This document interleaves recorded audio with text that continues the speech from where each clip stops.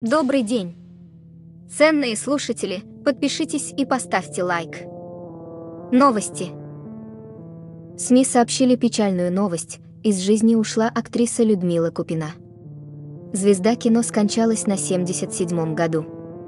Поклонники приносят соболезнования близким артистке. Только что появилась информация, что скончалась Людмила Купина. О причинах смерти актрисы не уточняется. Звезде отечественного кинематографа было 76 лет. В 1969 году артистка окончила Московское высшее театральное училище имени Щукина, Курслевой. Много лет Купина служила в Центре кино под руководством режиссера Никиты Михалкова. Кроме того, Людмила Емельяновна была актрисой Московского театра киноактера. Купина снялась в более 20 картинах. Она сыграла сотрудницу статистического учреждения в служебном романе, Дашу в фильме «Я тебя никогда не забуду», Василину в «Трембите». Ее роли и в кинолентах «Обрыв», «Вечный зов», «Человек на полустанке».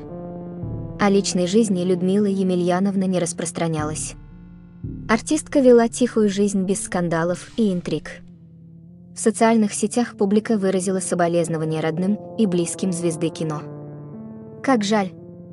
Царствие небесного, какие печальные новости, как раз пересматриваю служебный роман.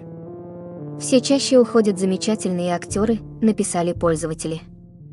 Спасибо. Поставьте лайк и подпишитесь.